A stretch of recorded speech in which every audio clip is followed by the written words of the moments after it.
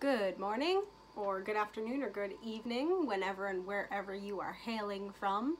My name is Joanna and this is the underproduced and unedited Goddess Crochet podcast. How are you today? I am doing well. It is December 20th, Thursday, December 20th, five days until Christmas. Kind of crazy, right? Have you got all your holiday gift making done? I had to give up on a couple projects. And when I say give up, it just means the recipients will be receiving their gifts maybe a couple weeks late. I had three blankets in the making, um, two Havanas, well one of those is mine, but one gift Havana, one uh, diamond overlay scrapghan, and a baby blanket. And there's just no way I'm going to finish those in time for Christmas.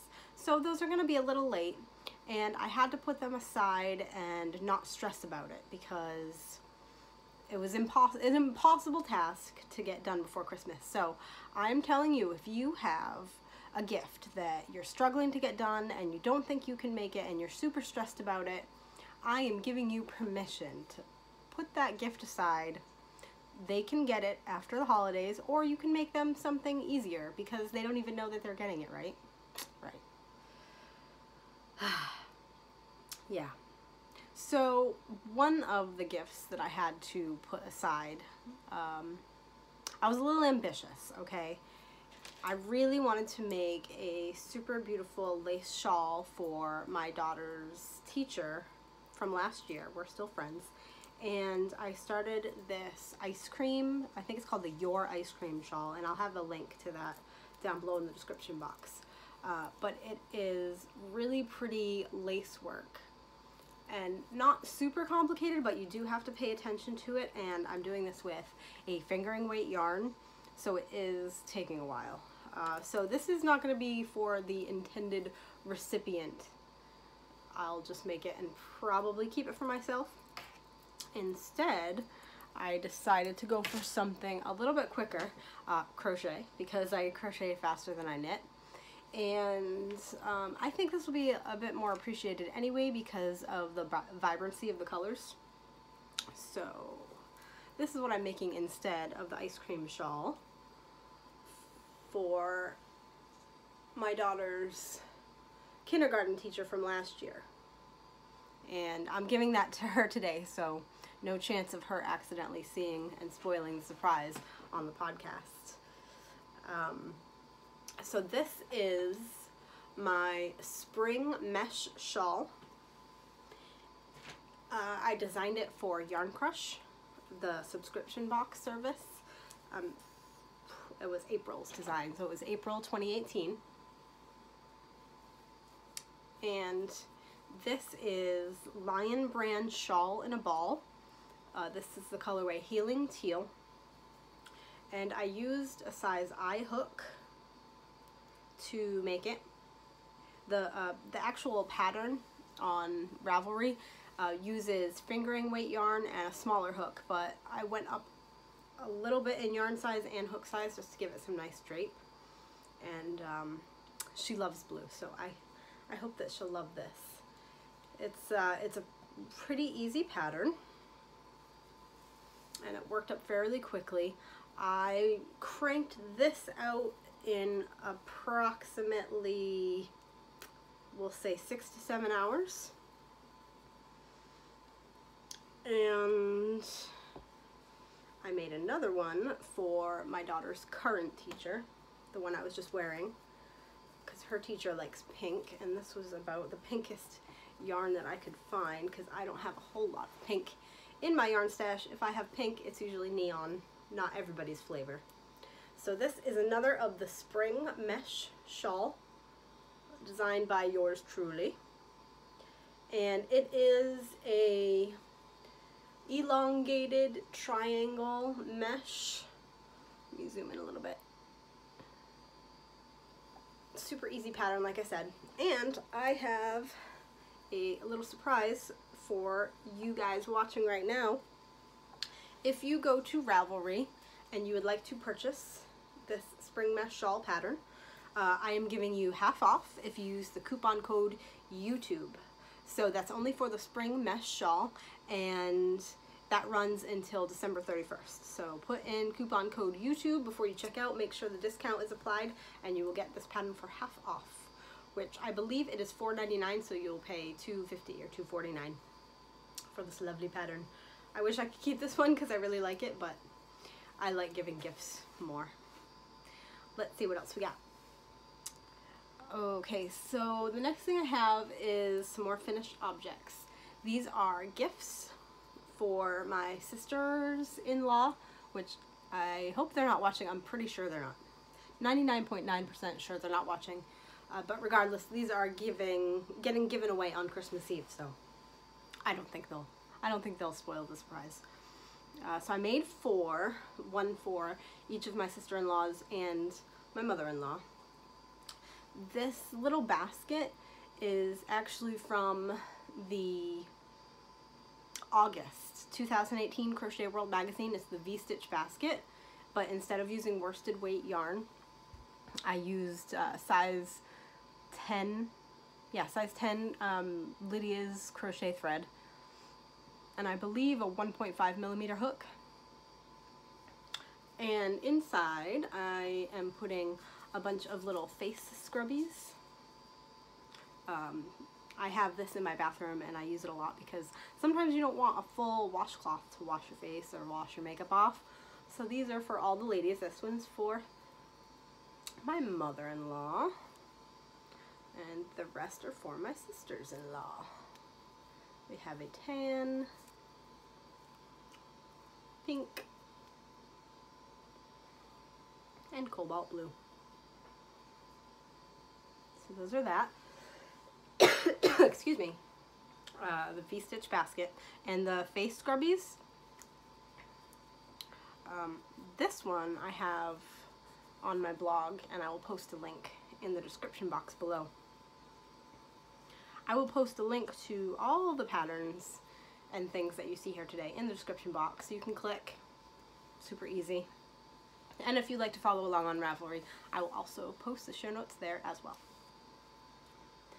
moving on. Okay, so for the past couple years now, uh, for my daughter's school's bus monitors, the people that wait outside and have the kids get off the bus, excuse me, um, I have made these cowls, neck warmers, whatever you like to call them, because uh, it gets really cold out and not everybody has a scarf with them at all times, and these are so foldable that you can put them in your purse or keep them in your glove compartment and you'll always have them.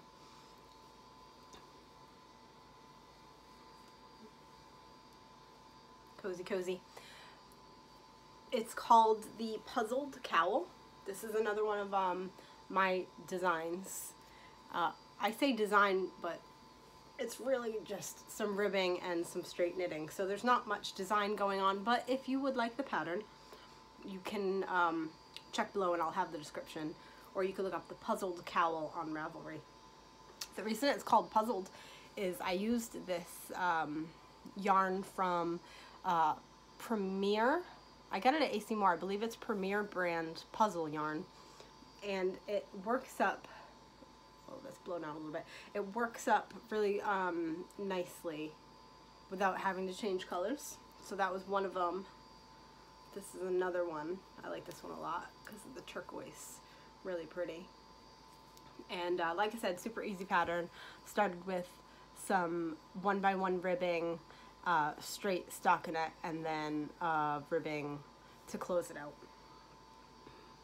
And you can bind off in pattern, do like a knit one, purl one, and pass it over, knit one, pass it over the purl, purl one, pass it over the knit, or you could just bind off a knitting if you want to. It doesn't make a huge difference. I used the Russian lace bind off, which keeps things nice and stretchy.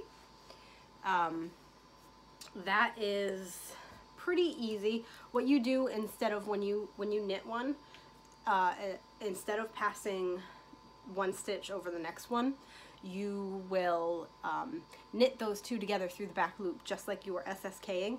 So you knit two, pass it back to the needle and then uh, knit through the back loop and then knit the next one and do that again with those two stitches and keep going and going and it makes a nice stretchy bind off. So that's what I tend to use for cowls and things. Speaking of cowls, I have another new pattern for you guys, free. This one's a knitting pattern. Sorry, crocheters. I will get you taken care of shortly. Uh, this is the Mossberry Cowl. And it uses a moss stitch. I believe it's double moss. I can't remember. I think it's a double moss stitch. Uh, but it makes for like really textured uh, reversible. It's inside inside out is the same as the other side, so that's nice. And this was done with um, Lion Brand Hometown yarn or Heartland. I think it was Hometown, but you can check the website. I have the information for you.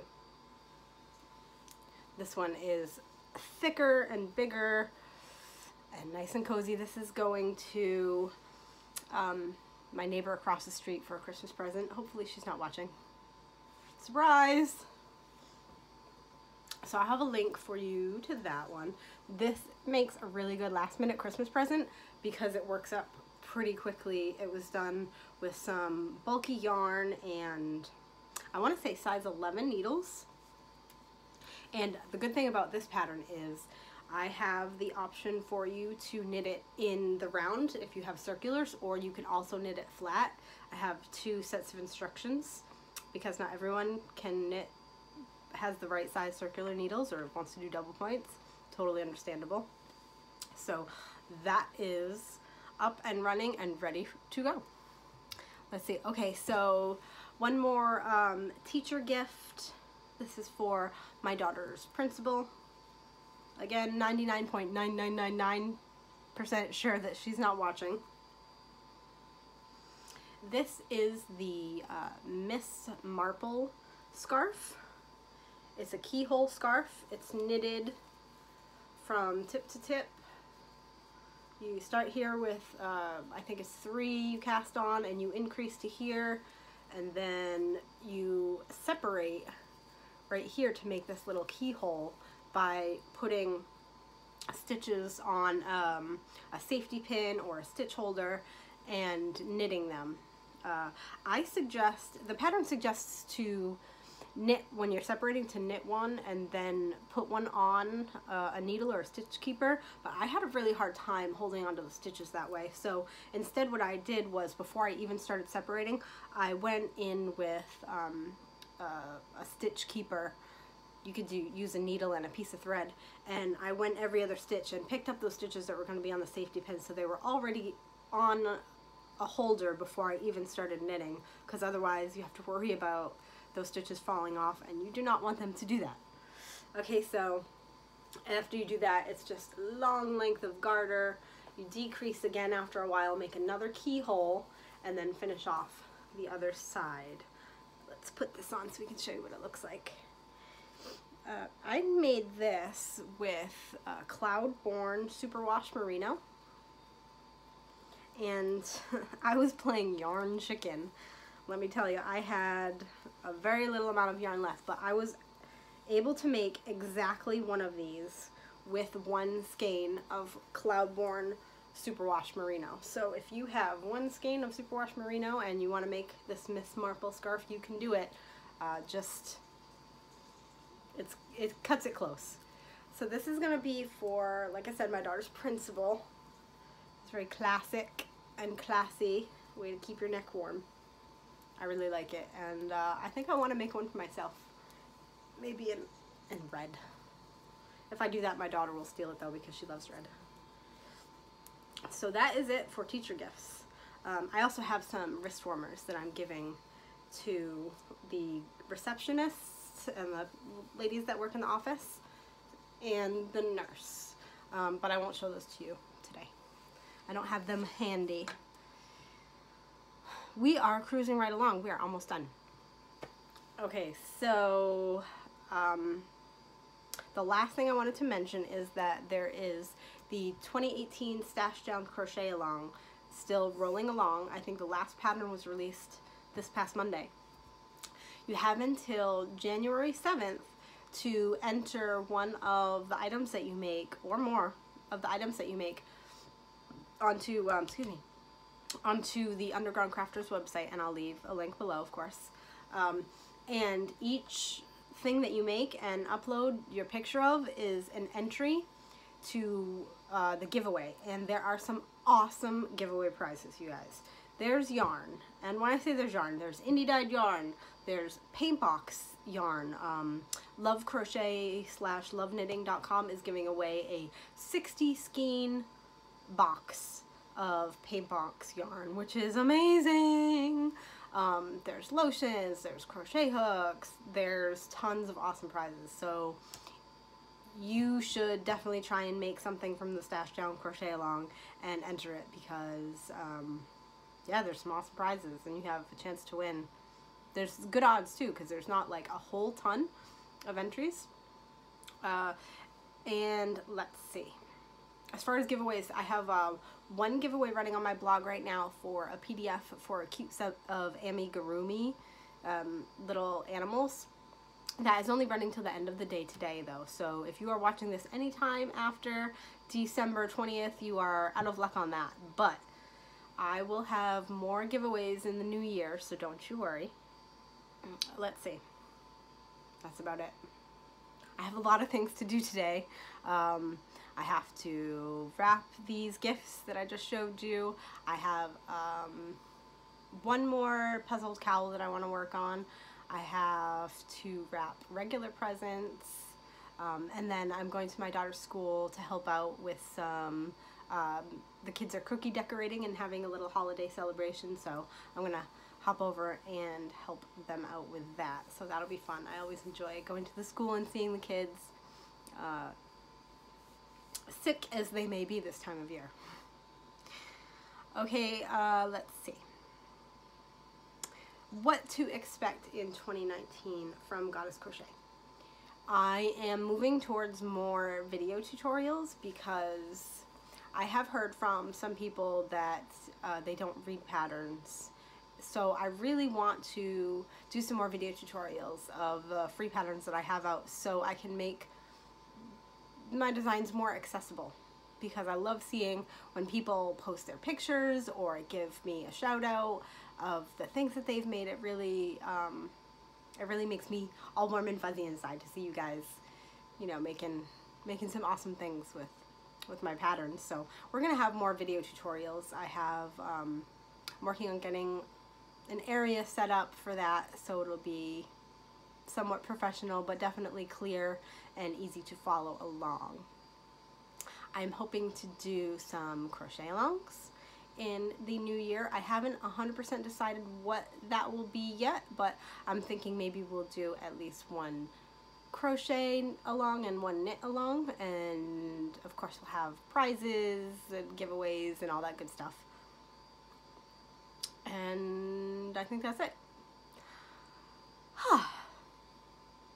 I am happy to be done with my Christmas gift making, let me tell you. Uh, it was a little stressful until I decided to put those projects aside and say, I'm not going to be able to finish you. And then the wave of relief washed over and I thought, okay, I can make some small projects instead. So like I said, if you have a huge looming project that is over your head and you know that you can't finish, put it aside. It's okay. The people you were giving it to didn't even know they were getting it anyway. Make them something different. It's okay. I give you permission. I hope you have a wonderful holiday. I'm really looking forward to spending some time with my family and not being rushed and just relaxing. My daughter has a whole week off from school, so we are just going to get cozy and read books and play video games and I might do a little bit of crocheting. Who knows? I hope you have a wonderful holiday and I will see you next year. Oh, obviously don't forget to like and subscribe, right? You guys know that. Come on now.